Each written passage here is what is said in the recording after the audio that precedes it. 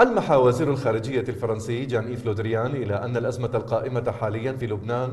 تهدد بقاء هذا البلد إذا لم تسارع الحكومة الجديدة إلى تطبيق الإصلاحات الضرورية. وقال لودريان إنه على الحكومة اللبنانية الجديدة وفور حصولها على ثقة النواب أن توظف كل إمكانياتها لتطبيق الإجراءات الإصلاحية التي لا بد منها لبقاء لبنان مشيرا إلى أن الموقف الفرنسي من حكومة حسان دياب سيحدد في ضوء ما سيقوله المسؤولون اللبنانيون وخصوصا السيد دياب وفي إشارة إلى البيان الوزاري.